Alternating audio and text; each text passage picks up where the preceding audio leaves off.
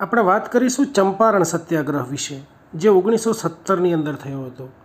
ઓગણીસો પંદરની અંદર ગાંધીજી દક્ષિણ આફ્રિકામાંથી ભારતની અંદર પાછા આવે છે અને પછી અમદાવાદની અંદર આવી અને સાબરમતી આશ્રમની સ્થાપના કરે છે અને ગાંધીજી ભારતમાં આવ્યા પછી એમનો જે ગાંધી યુગ જેને કહેવાય ગાંધી યુગની જે શરૂઆત છે, એ ચંપારણ સત્યાગ્રહથી થાય છે. તો આ ચંપારણ સત્યાગ્રહ શું હતું? એની અંદર કેવા બનાવો બન્યા હતા એકચ્યુઅલી એનો ઇસ્યુ કેવો હતો, એના રિઝલ્ટ્સ કેવા આવ્યા એના વિશે થોડીક ચર્ચા કરીએ. તો સૌપ્રથમ ગાંધીજીએ સત્યાગ્રહનો પ્રયોગ છે ને સૌપ્રથમ દક્ષિણ આફ્રિકાની અંદર કર્યો હતો. અને ભારતની અંદર સૌપ્રથમ સત્યાગ્રહનો પ્રયોગ છે ને સત્યાગ્રહ શબ્દનો પ્રયોગ, એ ઓગણીસો સત્તરની અંદર બિહારના ચંપારણ જિલ્લાની અંદર આ સત્યાગ્રહ થયો તો ચંપારણ સત્યાગ્રહ. ત્યાં આગળ સૌપ્રથમ વખત ભારતમાં સત્યાગ્રહ શબ્દનો પ્રયોગ થયો છે. હવે આપણે એક થોડી પૃષ્ઠભૂમિ સમજીએ, આપણે થોડુંક એક બેકગ્રાઉન્ડ સમજીએ કે ખરેખર આ ચંપારણ સત્યાગ્રહ શું હતો. તો સૌથી પહેલાં આપણને ખ્યાલ છે કે ગળી એટલે કે ઇન્ડિગો, ગળી કહેવાય એને. આ ગળી એટલે કે ઇન્ડિગોની ખેતીની શરૂઆત કરાવવાની જે શરૂઆત છે, એ બ્રિટિશરોએ ભારતની અંદર લગભગ સત્તરસો ને પચાસની આસપાસ કરી નાખી હતી. અને એ વખતે એવું હતું કે એ લોકો ગળીની ખેતી કરાવતા અને એના બદલાની અંદર ભારતીયોને પૈસા આપતા. આ ગળી જે છે એ મોટે ભાગે એક ઓર્ગેનિક ઇન્ડિગો છે અને એનો ઉપયોગ જે છે એ કપડાને રંગવા માટે થતો હતો. તો આપણને ખ્યાલ છે કે એમને એમ કીધું કે એ લોકો ગળીની ખેતી કરાવતા અને એના બદલાની અંદર એડવાન્સ પેમેન્ટ આપતા અને એમને પૂરતા પ્રમાણમાં પૈસા આપતા હતા. ખાસ કરીને આ ગળીની ખેતી જે છે એ અવધ, પછી બરાર જે મહારાષ્ટ્રનો ઈસ્ટર્ન પ્રદેશ છે અને બંગાળ, આ પ્રાંતોની અંદર ગળીની ખેતી કરાવવામાં આવતી હતી. આમાં ઇસ્યુ એ પણ હતો કે ગળીની ખેતી કરાવવા માટે જે પાણી છે ને એ બીજા પાક કરતાં ઘણું વધારે જોઈતું.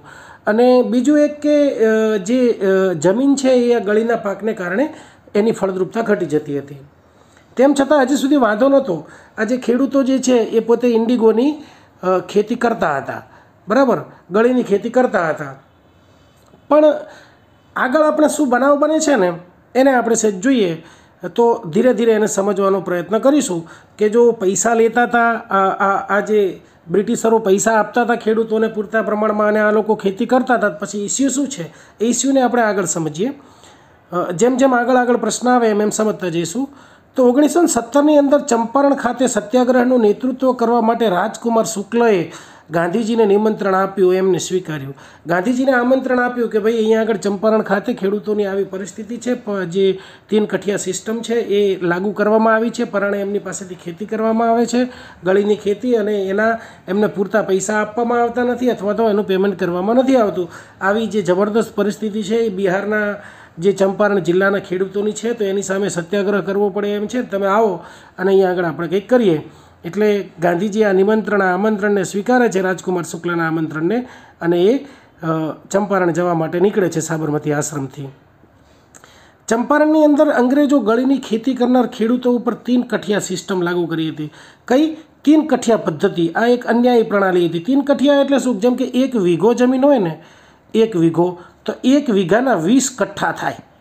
આ એક જમીનનો માપ છે, જેમ આપણને ખબર છે કે એકર હોય સ્ક્વેર ફીટ હોય સ્ક્વેર મીટર હોય હેક્ટર હોય ઓર હોય, એવો આ વીઘો આપણને ખબર છે. તો એક વીઘાની અંદર વીસ કઠ્ઠા થાય. તો એ વીસ કઠ્ઠાની અંદર ત્રણ કઠ્ઠા જે છે ને એટલે વીઘાનો ત્રીજો ભાગ. એ ભાગની અંદર એમને ફરજિયાત ગળીની ખેતી કરવી પડતી. જે બાકીનો ભાગ છે સત્તર ભાગ, એક વીઘાના સત્તર ભાગ.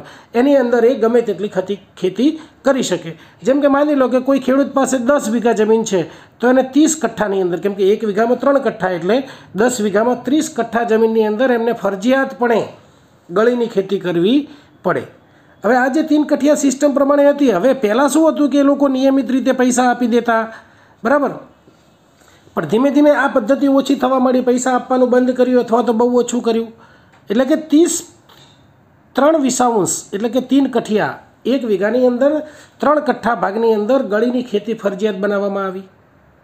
ગળી છે ને, એ રંગ બનાવટ માટે કામમાં વપરાતી, આપણે જોયું ને કપડાં રંગવા માટે ગળીનો ઉપયોગ થતો હતો.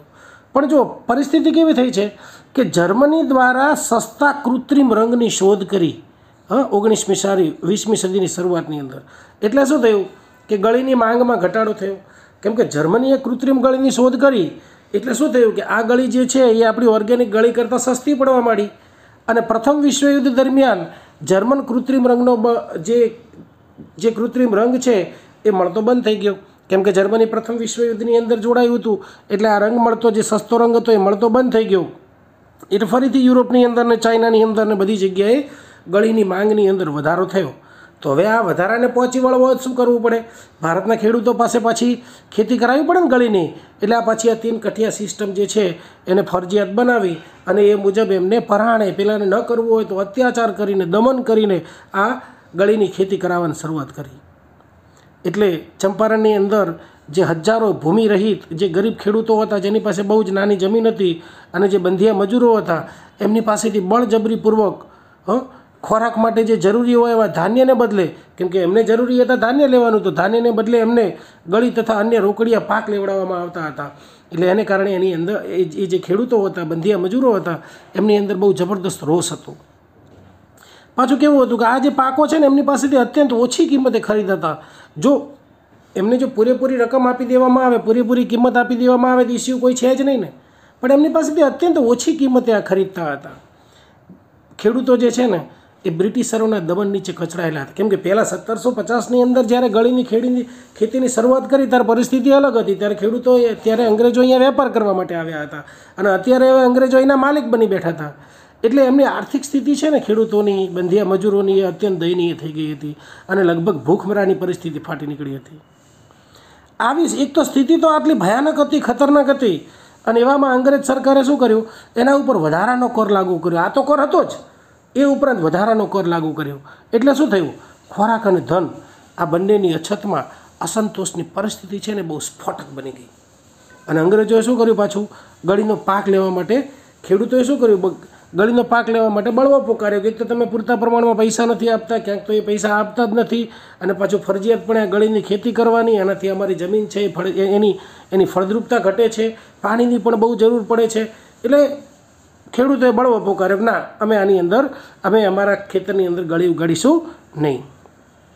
એટલે ચંપારણની અંદર આ તીન કઠિયાની પદ્ધતિ જે છે, તીન કઠિયા સિસ્ટમ જે છે, એને નાબૂદ કરવા માટે અને ખેડૂતોના શોષણનો અંત લાવવા માટે આ ગાંધીજીએ જે આ ખેડૂતોની જે દુર્દશા હતી, એને દૂર કરવા માટે એક સત્યાગ્રહની લડત ઉપાડી. આ લડત છે ને, એ બિહારના ચંપારણ જિલ્લાની અંદર ઉપાડી હતી. અને એટલા માટે એને ચંપારણ સત્યાગ્રહ તરીકે ઓળખવામાં આવે છે. હવે આપણે જોઈએ કે આગળ શું છે. તો આ સત્યાગ્રહની અંદર ગાંધીજી શું કરે છે કે ચંપારણ જિલ્લાના અને એની આજુબાજુના જે બધા જ ગામો છે, ત્યાં આગળથી લગભગ વીસ હજાર ખેડૂતોના નિવેદનો લઈને વીસ હજાર ખેડૂતોની ફાઇલો તૈયાર કરે છે. બરાબર? અને એમની સાથે એમની ટીમમાં હોય છે રાજેન્દ્ર પ્રસાદ જે બી કૃપલાની મહાદેવભાઈ દેસાઈ, મજરૂલ હક અને અન્ય જે વકીલો જે છે, એ પણ એમની ટીમમાં હોય છે. આ બધા ભેગા થઈ અને રચનાત્મક અને અને પ્રતિકાત્મક પ્રવૃત્તિની સાથે લગભગ વીસ હજાર ખેડૂતોના લેખિત નિવેદનો લઈ અને સરકાર સમક્ષ માગણીઓ રજૂ કરી છે. અને સરકારને પણ લાગે છે કે ના, ખરેખર ગાંધીજી છે એ એક સાચી રજૂઆત કરી રહ્યા છે. અને એમને સરકારે છેવટે એક કમિશન નિમ્યું અને એ કમિશનના સભ્ય તરીકે ગાંધીજી પણ હતા. ગાંધીજીએ જે વીસ હજાર નિવેદનો જે રજૂ કર્યા હતા, હં, એની જે ખેડૂતોની જે ફરિયાદો હતી, એ કોર્ટે વાજબી ઠરાવીકના વાત સાચી છે. આ જે ખેડૂતો છે, એમનું ખરેખર શોષણ થઈ રહ્યું છે, એમના ઉપર અત્યાચાર થઈ રહ્યા છે, એટલે આ ફરિયાદોને વાજબી ઠરાવી અને એના લીધે કેવું કર્યું કે આ જે તીન પઠિયાનો જે તીન કઠિયાનો કાયદો હતો ને, હં, જે કે એક વીઘાની અંદર ત્રણ કઠ્ઠા જે છે, એ ફરજિયાત ગળીની ખેતી કરવાનો કાયદો એને રદ કરવામાં આવ્યો છે અહીંથી.